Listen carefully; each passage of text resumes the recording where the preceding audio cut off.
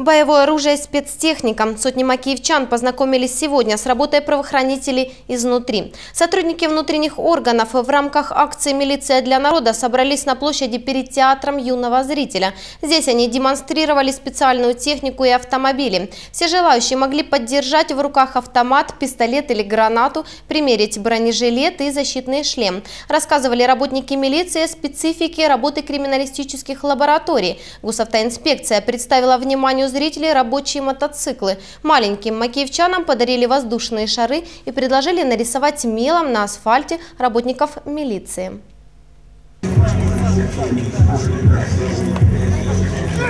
Мне больше всего понравилось оружие и экипировка милиции. Понравилось все.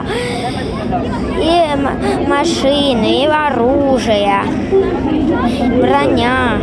Теперь я представляю работу милиции лучше. Мне понравилось, как они дерутся и стреляют. Сегодняшняя акция действительно подтверждение тому, что э, милиция находится все время с народом, находится возле ее. И основная задача милиции это действительно это безопасность наших граждан, которые проживают в целом стране, в частности в нашем красивом городе Макеевка.